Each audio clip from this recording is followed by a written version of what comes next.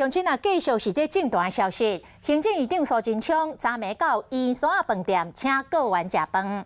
记者甲问讲，这是毋是你的毕业餐会？苏院长拢无回答，就行入去会场。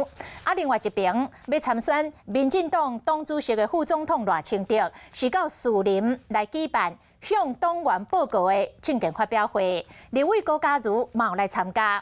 也毋过高家如哦，自伊一进入去会场开始，就一直互党员甲警体甲痛骂，会使讲是互人骂甲满面全倒会。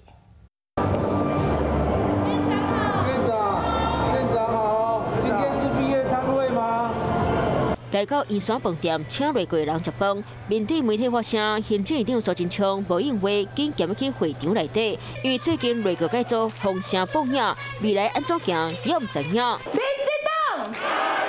对比苏贞昌迄边的震荡气氛，参选民进党主席的副总统赖清德来到台北市建谈，向党员发表政见，这个出场就受到支持者的欢迎。不过，背以来共党籍立委高嘉瑜就无一样好过。一定要开除高嘉瑜跟王世坚的党籍，他们两个不开除哦。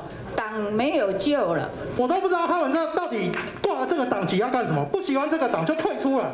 不安高嘉如直直咧批评政府，民进党员大力咧改革，为高嘉瑜一个战场，各有人大声叫落台，马向参选党主席的大清的发声，要求甲高嘉瑜开除党籍。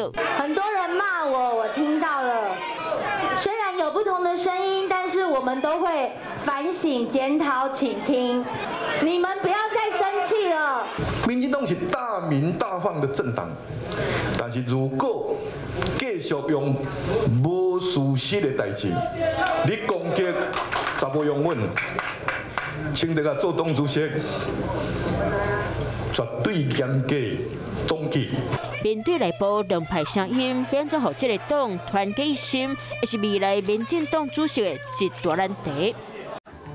华视新闻看起来，赶快订阅我们的华视新闻 YouTube 频道，欢迎按赞、订阅、开启小铃铛，最新最及时的资讯要提供给你。